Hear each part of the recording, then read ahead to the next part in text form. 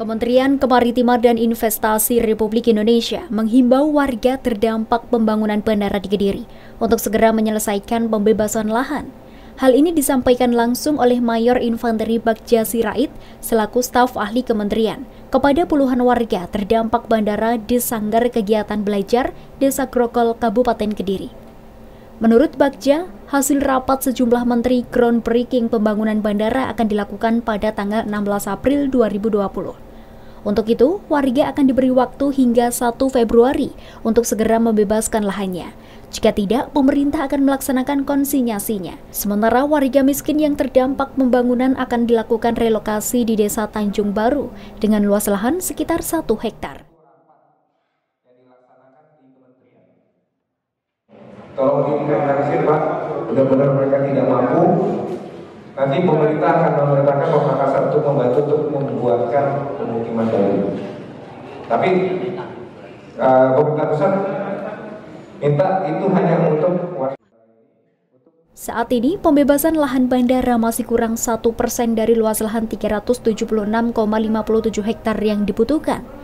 Bandara Kediri akan berdiri di tiga desa, yakni Desa Grokol, Pendrek, dan Bulusari.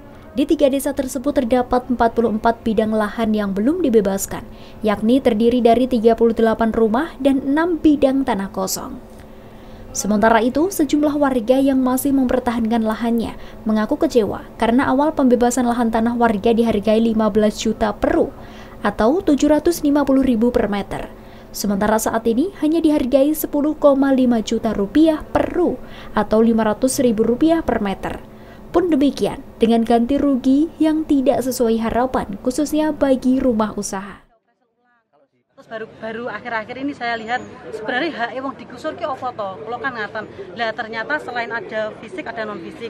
Non fisik kan meliputi ganti rugi usaha. Lah ganti rugi usaha kalau kaget. Padahal kan nyuwun sewu nggih, usaha kula kan lumayan besar kan semi grosir dengan pendapatan rata-rata sehari 25 sampai 30 juta. Loh, kok dipukul sama rata 50 juta. Padahal ternyata untuk ganti ganti rugi usaha itu kan dihitung laba selama satu tahun. Berarti itu kan jauh dari perhitungan seharusnya. tapi nanti kan tetap ada kalaupun terus ada ada hitungannya. Ya nanti ya. sampaikan sama Mas Imam lah ya, ya. tapi tetap prinsip satu bu ya. Kita ini tidak ada prinsip ya bukan di sini kan ini prinsip ingin bantu aja lagi jembatan antara panjenengan sama uh, pemerintah. Kita itu mengajak sama lah kita cuma pengen ngayomi panjenengan. Dan sampai nanti kan kita kita ini kan apa ya nanti pada saat Pengadaan lahan Bandara Kediri dilaksanakan oleh PT Surya Daha Investasi mulai tahun 2017 hingga 31 Agustus 2019 dan mulai 1 September 2019 sesuai instruksi pemerintah pusat dilakukan oleh pemerintah daerah. Dari Kediri, Unggul Dwi Cahyono, Muhammad Zainur Rofi melaporkan.